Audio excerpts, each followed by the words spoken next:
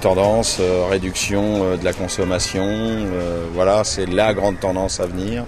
Des solutions alternatives, de l'hybridation qu'on a, qu'on va avoir, qui va encore se développer. Dans le groupe PSA, on va aller beaucoup plus sur des véhicules micro-hybrides.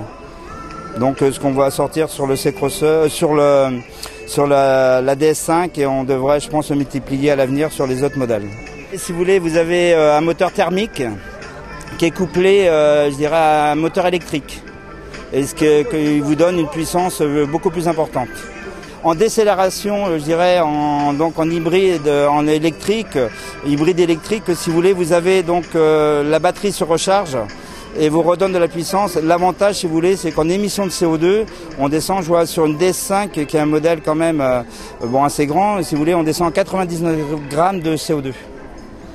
Donc euh, on voit bien avec des consommations qui vont être réduites de 30 à 40% par rapport à un moteur, euh, je thermique normal. Bah, il y a l'hybridation, mais qui va être une solution intermédiaire de toute façon, qui permet aujourd'hui de concilier et d'optimiser des moteurs thermiques. Mais l'électricité va arriver. Mercedes euh, commercialisera l'année prochaine avec Smart un modèle tout électrique qui est en développement depuis des années, qui est en pré-série depuis deux ans maintenant, qui tourne auprès de grandes administrations et de grandes flottes, qui sera destiné au grand public à partir de mars l'année prochaine. Et puis va se développer d'autres solutions, euh, euh, l'hydrogène, l'électricité, des choses comme ça.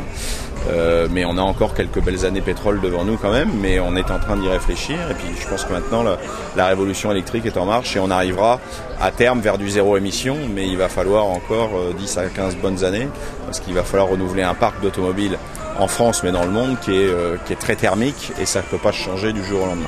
En voiture électrique, on a la, la C0, c'est une petite voiture électrique ça s'adresse beaucoup plus, je dirais, euh, voiture urbaine euh, citadine. Quoi. On a du, ce qu'on appelle du mild hybride avec Smart qui est aujourd'hui véhicule champion du monde hors véhicule électrique en termes d'émissions de CO2 puisqu'on est à 88 grammes de CO2.